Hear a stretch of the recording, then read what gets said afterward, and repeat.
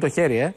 Ναι, Ναι. γιατί στη Β' στη Β' Πορτογαλίας Ναι. συνέβη κάτι εκπληκτικό Για δείξτε ε, στον μας. αγώνα της Sporting Β' με την ε, Ακαδέμικα. Την ώρα που η Sporting Β' προηγούταν 1-0, έγινε μια βαθιά παλιά της Ακαδέμικα και πριν η μπάλα περάσει την τελική γραμμή, ο αναπληρωματικός της δεύτερης ομάδας της Sporting, Που έκανε προθέρμανση, έτσι, ναι, ναι. Μμμ. πίσω από την ε, Εστία, ε, θέλησε να δώσει μια γρήγορη συνέχεια στο παιχνίδι. Κοντρόλαρε Ναι. την μπάλα με το πόδι, την ακούμπησε με το χέρι. Και ο διαιτητής; Δεν- Έδειξε την εσχάτη των ε, ποινών. Καταλόγησε την εσχάτη των ποινών. Βουλά.